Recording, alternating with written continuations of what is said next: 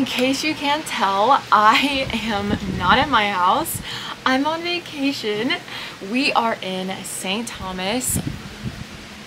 Oh my gosh. We are here for a week. And I decided we were gonna do a reading vlog together. So come with me exploring St. Thomas. I'm gonna also tell you about the books I brought with me. I did bring my Kindle, so I have a little bit of variety as far as what books I downloaded for the trip. We'll get into that later. Right now, we're gonna go explore a little bit. It is raining. We're gonna make the most of it. We got cards, we got snacks, and we're dressed for the occasion, even if it's raining. So yeah, without further ado, let's get into this travel vlog here in St. Thomas.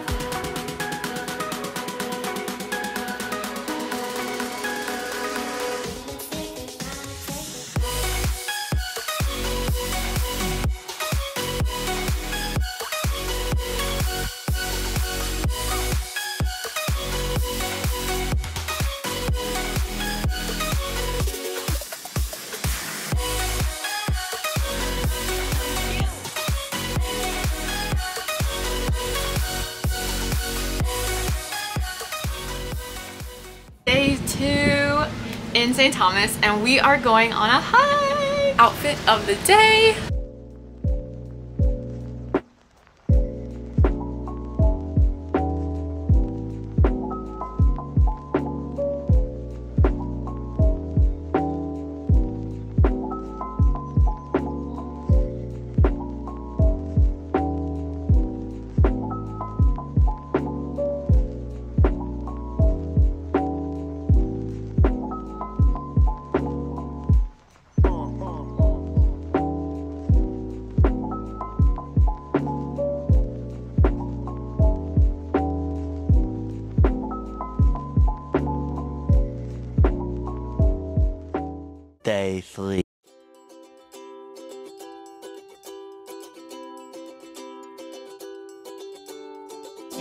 Red trees and a fork in the road.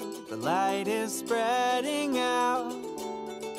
Huddle close to your favorite ghost and watch the sun meet water. And who would have thought that under the street the ground isn't flat at all?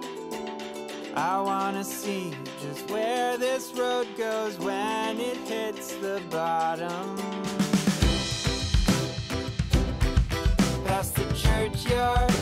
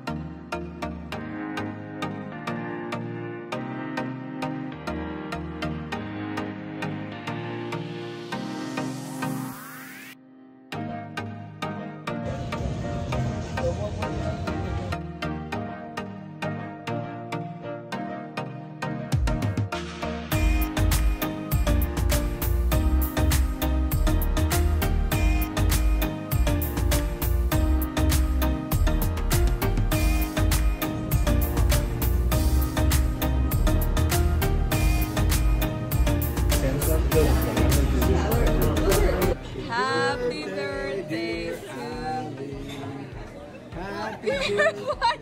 We have passed that. You. Wait, don't blow yet.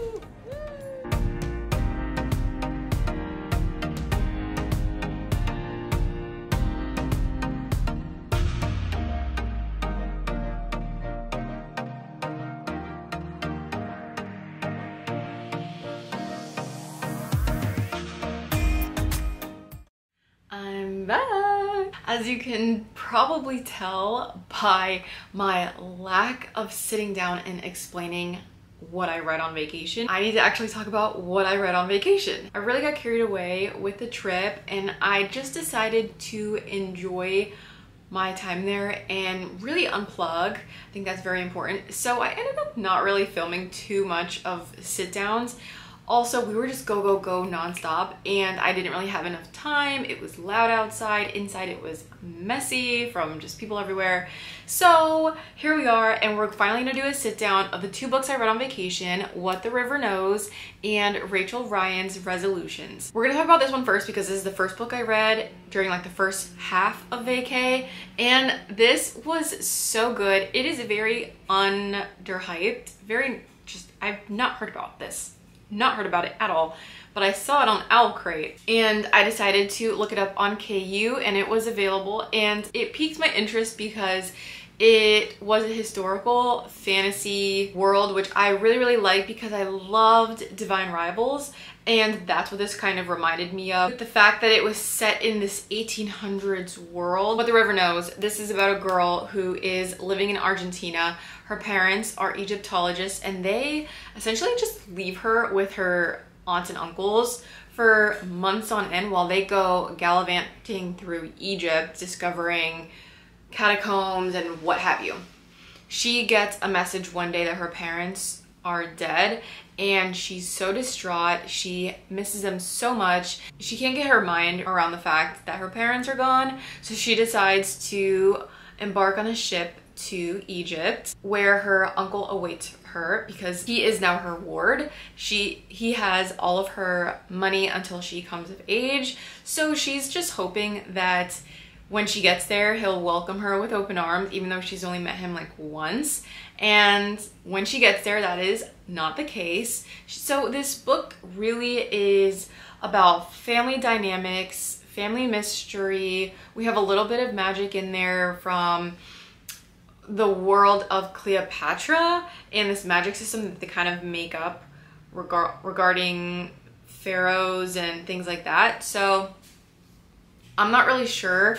I think it was tastefully done. I don't think it was anything far fetched. I don't think it necessarily needed to be there in order for this book to really be. I think you could have done without it, but alas, here we are. And like I said, this is a mystery, okay? So we have the mystery of what happened to her parents as well as the mystery of Cleopatra and where is her tomb. So we got two sides of that coin. And then there's also a little romance blossoming here because her uncle has an assistant, Mr. Hayes, I think his name is. And he, they're like rivals, okay? He doesn't want her there. She doesn't trust him because she doesn't really trust her uncle. And there's this whole dynamic going on with that. We had a lot going on with this book. And by the end, I was pleasantly surprised. I feel like with YA books, I'm not always surprised with endings. This definitely surprised me. It was so good. Highly recommend. I gave this a four star, but I could have given it a higher ranking, honestly. It was very, very good, and I want more people to read this book. And it was a really nice book to read on vacay too, because it was putting you in Egypt, right? So you have the warm weather, you have the shops, you have the the water, like the River Nile, and I'm reading this on a beach warm weather, palm trees, water. The next book I read was Rachel Ryan's Resolutions by Laura Starkey. She is a rom-com author on KU that I found because I was looking for a rom-com also to read on vacay. I just feel like that's the perfect beach read, right? Very lighthearted, kind of witty, kind of funny, kind of cheesy, nothing too serious. That's not what I wanted on this trip. And it checked all my boxes. It also is a clean romance, so we love that. This book was perfect. If you like Jojo Moyes and Beth O'Leary, those are two romance authors that I really enjoy and they're, I'm pretty sure, British. She's also British, Laura Starkey, and the books take place in London and some of the humor I don't fully understand, some of the slang I don't get. If you look past that, the overall overall story is very good and very funny, very witty, very sarcastic. Rachel Ryan is a social media agency copywriter girly and her life is just not going to plan. So she makes all these New Year's resolutions to get her life in order. She lives with her best friend in this flat. She has like a friend group. So it's her best friend, her best friend's boyfriend, and then his best friend. So it's four four of them. And she has a history with this ex-boyfriend of hers from 10 years ago.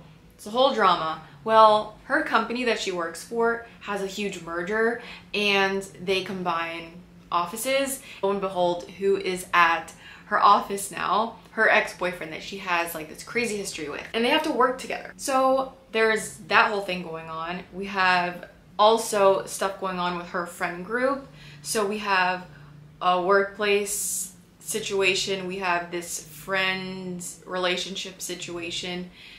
It was really, really good. I actually wasn't expecting it to go that way. It was sweet. It, if you like Friends to Lovers, I think you will really like this book. And like I said, there's no spice, so.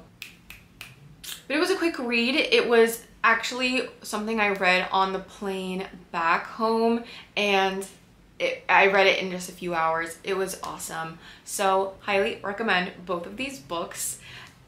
And I hope you enjoyed this travel slash kind of reading vlog. Let me know what you think in the comments if you've ever been to St. Thomas. And if you want to know where I went, I will link everything in the description box. But that is going to be it for this video. Uh, thank you so, so much for watching. And until next time, I will see you in my next video. Mwah. Bye!